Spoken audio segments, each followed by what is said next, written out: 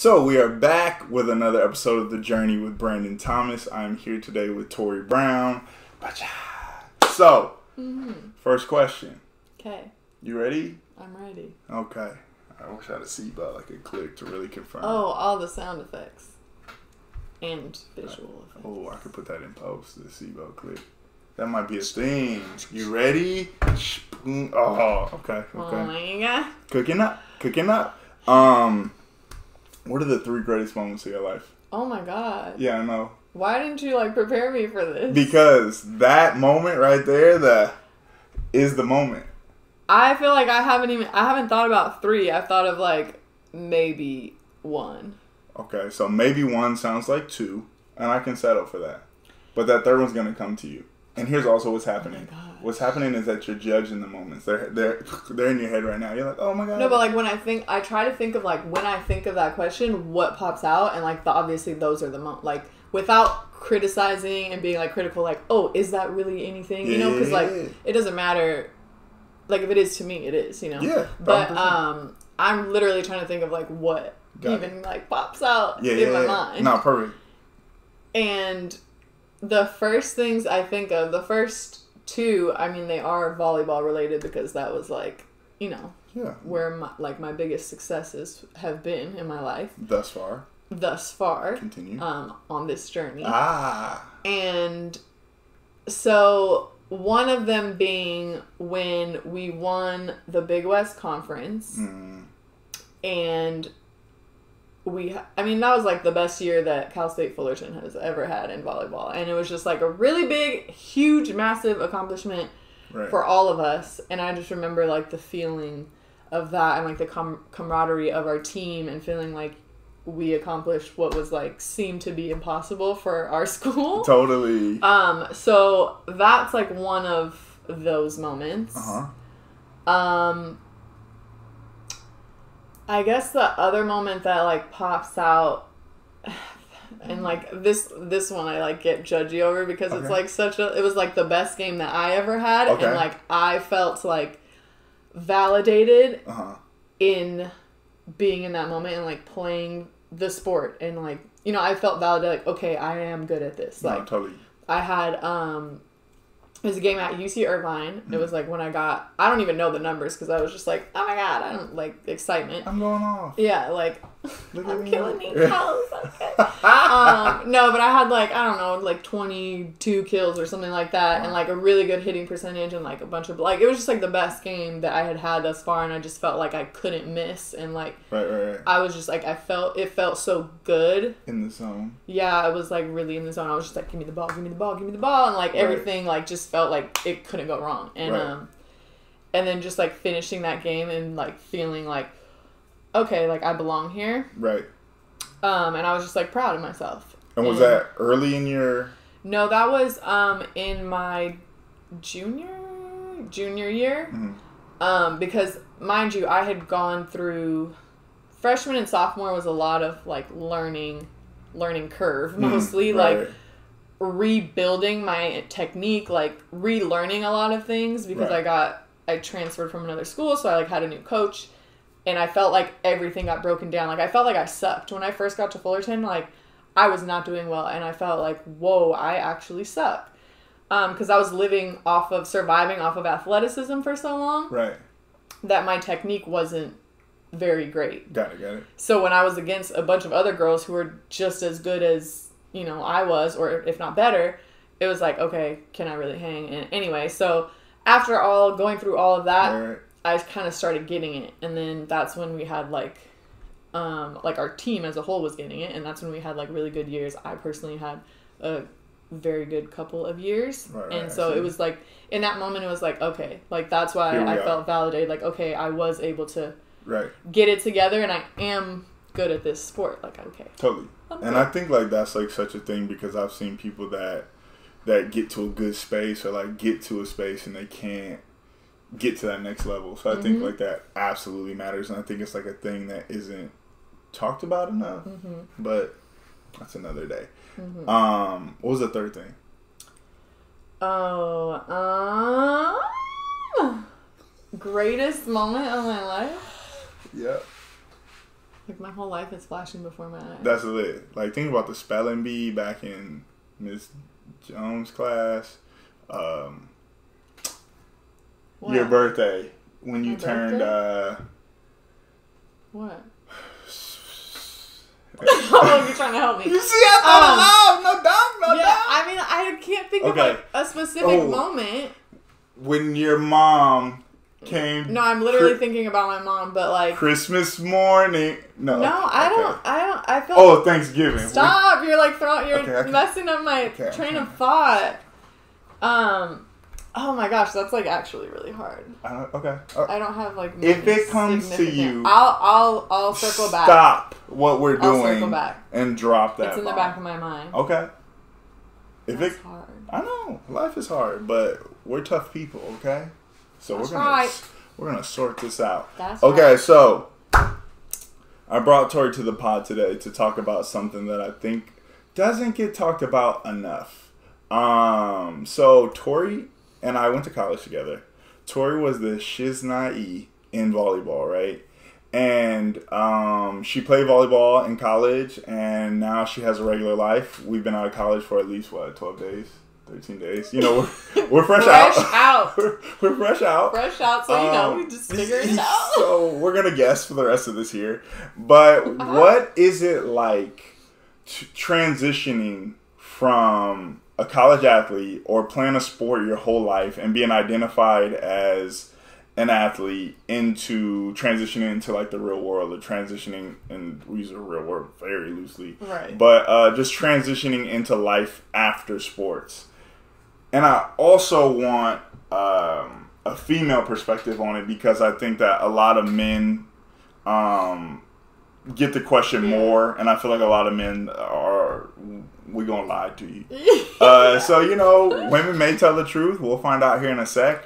Um, but I also think it's like a I think it's like a difficult thing. I wasn't a college athlete, but I'm I hung around with them because I'm tall. Um, this that was my past. Everybody's like, "Oh yeah, you're tall. Come hang with us." So um, you know what I mean. I was gang gang, but I wasn't. Uh, yeah. Yeah, No, I, you know. no, no, no. I feel you. I'm just. yes, yeah, yeah, yeah, yeah. hmm Um. Yeah. So obviously, yeah, like you said, I think that that narrative usually comes from a male's perspective. Right, right. And um, for women, obvious. I don't want to say obviously, but um, in from my point of view, Mhm. you go in like knowing that it's not like oh I'm about to go league like after this like. So for women, like oh damn. yeah, there isn't there isn't like that next chapter after college. Like right. it exists, mind you, like I have friends that played I have a couple friends that played soccer professionally and they just recently actually retired. I can like kind of touch on that too, but and then I know a few girls that played volleyball overseas, Mhm. but it's just very rare. And I did have an opportunity to do that. I was unfortunate in tearing my ACL like right before my senior season, so that just kind of screwed me up for like getting recruited after senior season. Right, right, Um, but that is a possibility, but that's not really like the ultimate goal. right. Um, Damn, that's so true. yeah, so obviously the most popular is basketball, WNBA. So if you're in that position, maybe you would think past college, but going into college, you literally are like what am I going to do? Like I need to study this so that I can do this as soon as I graduate. Yo, so you mean to tell me you y'all actually going to class to learn stuff? Yeah, like we have to have like we are studying and getting good grades Oh because we're shoot. gonna get jobs like we have to get jobs after so it's literally like you know like all the athletes the male athletes like yeah just give me whatever Yeah, major yeah, i can like just get by with but like we really had to like think about what we're gonna study and be serious about it because that's what we have to do Dang. like no one was like sitting in practice like yeah like fuck all this like Right. I'm, I'm going league after i'm pro i don't care like Right. no, like the the mindset is completely different, so we're kind of more prepared for it in that way. Wow. Yeah. Yeah. Um, but there is still a definite transition that Mhm. you have to go through. I mean, I remember talking to Amanda. You know her, my friend Amanda also played volleyball, and we like after college we would talk about it. Like, who am I? Like, what am I doing? Like, we were still feeling like insignificant because we lived on being volleyball players for so long. Right. and that like just gave us a certain sense of security confidence like that's where we got like most of our self-worth. Like that's what we were successful at. So it was like oh this makes me feel like i mean something. 100%. and so you definitely go through like a phase of like wait what am i good at outside of that? You know because you don't even have the time to like figure like have other hobbies or like do other things it's like you play volleyball and you go to class and you go home Right. and so once you get out, it's like, and even for me, I I got my degree in like what I wanted to do, and then even after that, I was like, do I even want to do this? Like, I kind of hit the same.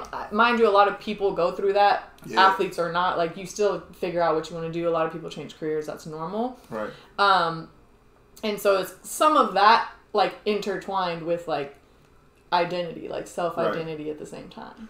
Okay. Also, Hmm. I, as we're in this space, I'm telling you this because I witnessed it. How does it feel also being like good? Do you think You does gas that- me up, but. It, but that's but that's what I'm saying is I feel like I was there. I synced it. I appreciate. Okay. I it. appreciate the praise. I Got really got do. I don't. I'm not gonna say like, oh, I'm humble, but I genuinely don't. Like, I just see so many people that were better than me, so I'm like, I wasn't that great. Okay. But okay, but no, that's that's really ties into what I was saying. It's like Right. when you're like really good at something, Right. and people like know you as that person, and then it's all just like gone, and you're like, oh, okay like what am i doing who am i you know and you like i don't know it's kind of sad a little bit and even when it comes to like working out you spend so many years being trained you have a coach you do this you have a schedule like everything's on a schedule Right. and then you get out and there's no coach there's no nothing like you got to do every like if you want to work out you got to go work out on your own and like make your own schedule and which is fine like that's normal right. but when you're going from like a structure that was put placed upon you and like given to you, and Right. then like that's all you've known your whole life, and then it's like you're just spit out and like now you gotta like do it yourself. Right. It's not that hard, but that's just part of the transition is like forcing yourself like okay. I gotta find a gym to go to. Like, Mm, never been to like a regular gym, you know, because you have like. I mean, I've been to Yo, one before, but you know, like we don't work out at a regular gym Right, or like right. stuff like that, and it's like it's just very weird. Sign it's like for 25 finding a new, yeah, like, literally. oh. like, is this what we do? So I just scan my finger. Yeah. then- yeah. Wow. Yeah. So just like little things like that is like re kind of like restructuring your life and your Mhm. mind, Totally. just your mental and telling yourself because even my friend Amanda and I we were trying so hard to like keep playing volleyball like we were playing in these leagues and like that was the best part of the week like Right. going and like smashing on these people that don't know how to play. Like they played high school volleyball and we walk in like we were literally coming The in and like killing people. Yes. And and it felt good though. It was like, yes, like I remember this. Like it feels great. But then it's like and then you go home and you got work at nine AM and you're it's just it's a very strange Right. transition. Totally. Um, but like I don't think it is as bad as it is for men because we're prepared for it. Mm, that's deep. You know? Like and it's like that's so obvious, but I didn't. I didn't take the the extra step to think of that. Like, yeah, like Yeah. unless you're like that one percent, like Mm-hmm. you come to do four, and that's and it. be out like you really had to like think about school That's wow. like we like for us it was like we played volleyball to get the scholarship to go to school you know what i mean instead of like vice versa it's Mm. right, like volleyball paid for For us to get an education right, right. as opposed to like like I'm using this to try yeah to to get to, get the to, next level. exactly Wow, uh, that's Yeah. crazy. Um, was it depressing at all after, like, when you realize like it's little over? yeah a little bit like i'm not very like susceptible to being like very sad or like depressed i would say Okay, um just not how I am Bless. but but I feel like in that time I did like question a lot Mm-hmm. about myself and yeah just like my self-confidence and like my identity was it was a little depressing. How long did it take you to transition from okay, I'm done with volleyball, let's start life, or did it happen like simultaneous, or was it like a day when you like woke up like, okay, let me put my Well, it knee was- pads down. Well, like I said, we were still playing. I was. I still got knee pads in my car. I still have a bag in my car with all my volleyball stuff. Yo, just in case the To pickup game day. jumps off. No, because we like we played in the league, and I just Right, never right. threw it away. I'm like, I don't know if I'm gonna play again. I feel it. Okay. Um, but it was more so like you graduate, and like I had to get a job, so Mm, you're kind of like for like you got to move on. right.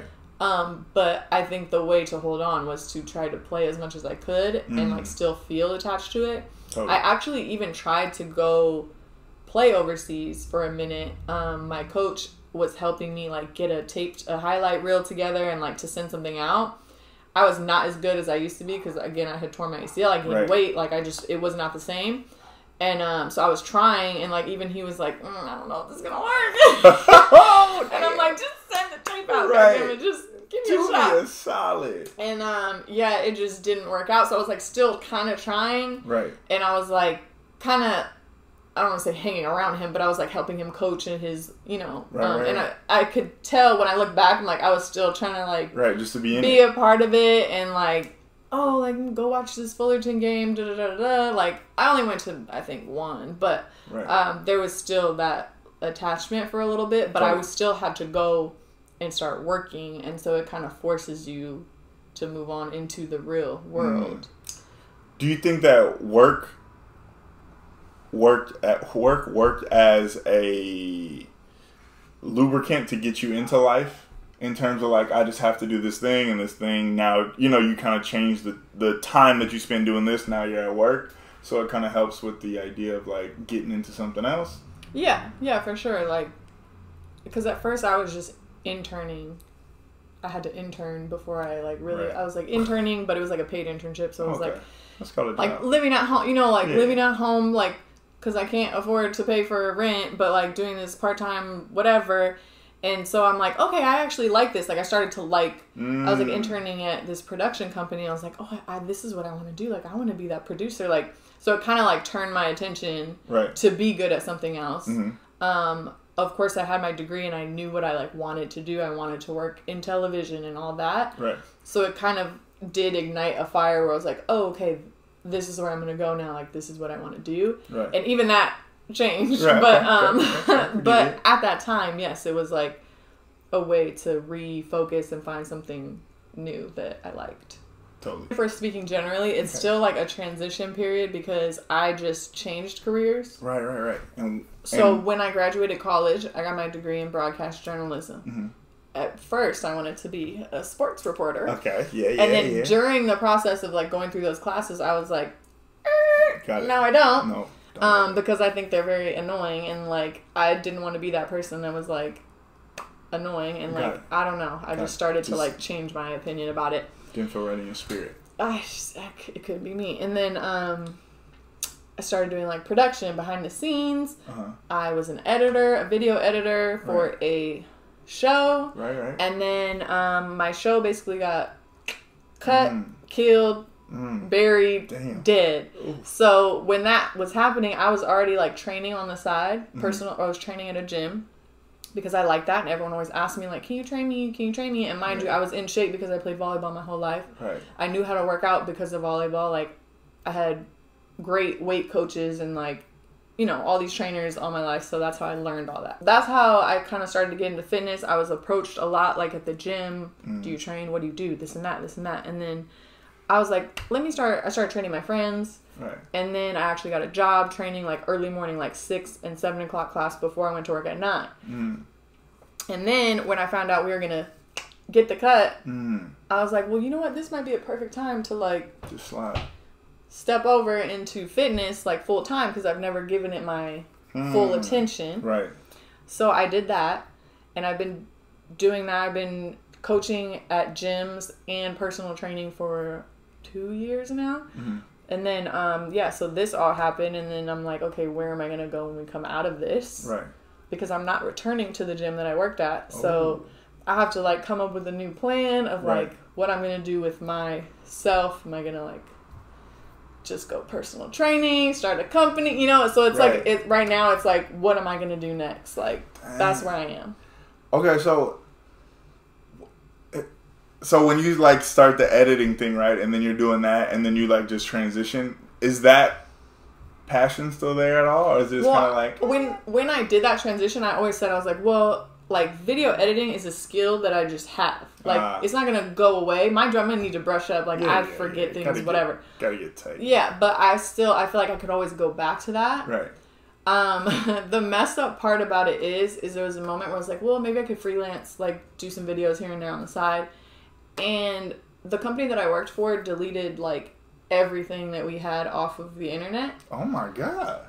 This yeah, it's kind of it's kind of messed up. So I couldn't even, and I don't have my work computer, like my the hard drives, all my work. I do not have it, so I can't make a reel. Oh no! I no! can't show any of the work that I did. I can't. Oh, It's Damn. gone. Like they delete. There's like a couple right. from like when Some we first right. like switched over. Like they have it on a different channel, but anyway, everything is gone. So I was like, I can't even edit. Like unless it was someone that I really like knew and trusted me, and they were like, no, I know, like, Right. and then they let me do it. But That's like crazy. I can't.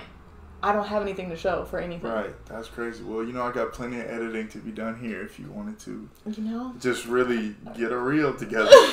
I would let you. for free I would let you get your reel. for the experience. you know what I mean? Do you want to develop a reel? I got Oh, plenty of shit. Yeah, Just sure. something to I'd think love about. to. Damn, that's crazy. Yeah, it's messed up, right? So it was kind of like life pushing you into. Yeah, and so I feel like I, I couldn't even really go back to that if I tried again, unless it was a situation where it's like I knew someone that would trust me with their stuff.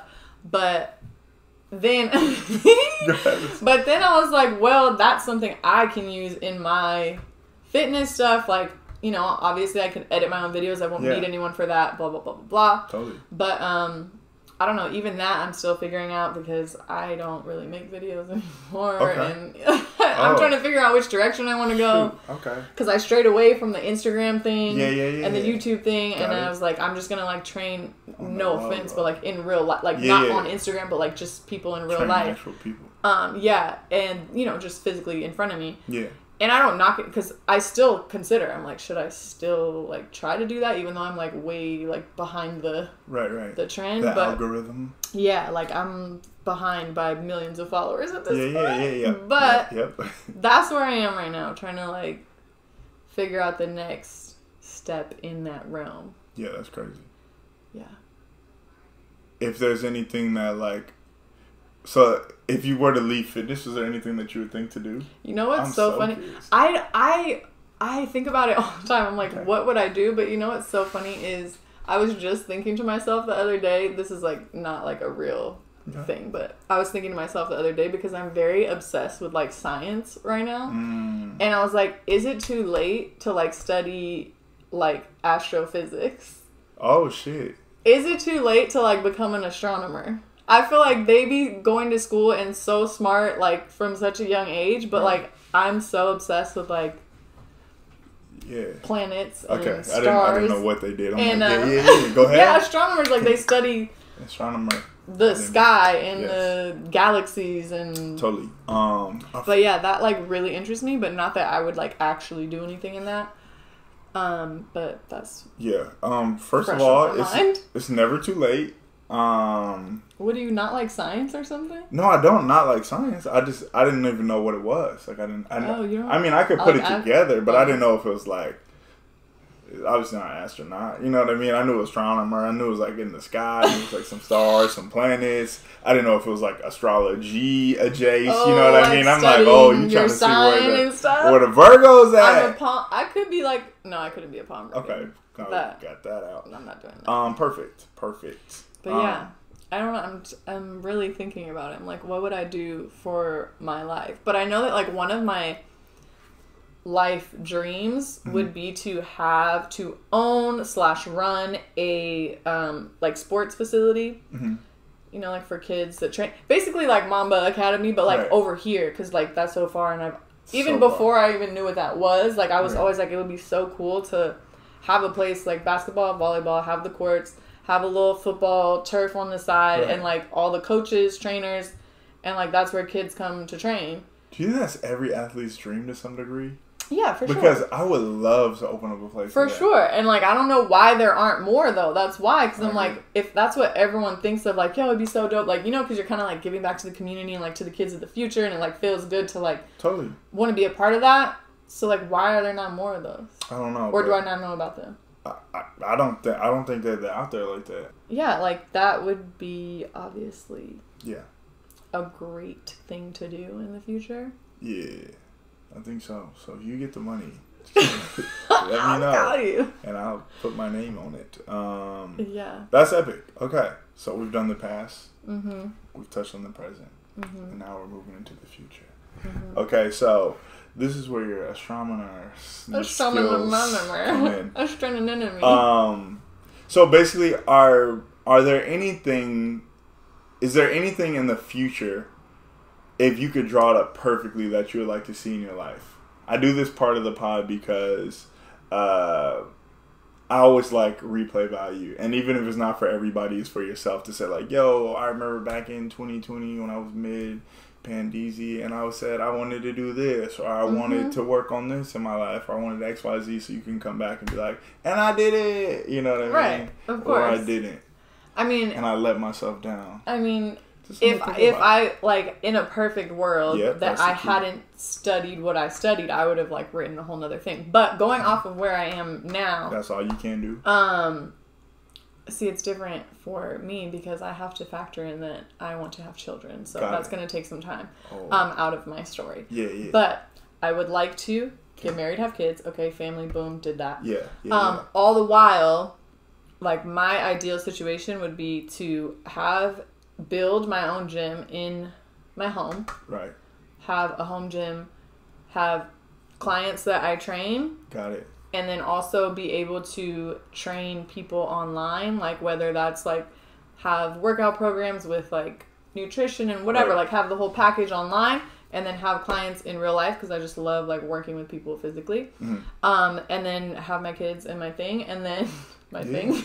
Yeah. have my kids and my whole thing going on. Kids and some finish it over here. Yeah, yeah. Um, but ideally, it would be like that type of situation, and then be able to do what I just told you about and open some kind of gym slash facility.